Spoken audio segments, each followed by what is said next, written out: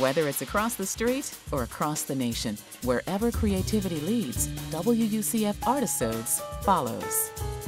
From colorful costumes to dynamic dance moves, Salvadore Live leaves their audience with a rush of energy.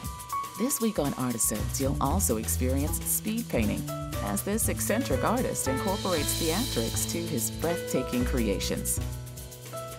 Tune in Thursday at 8 for WUCF Artisodes.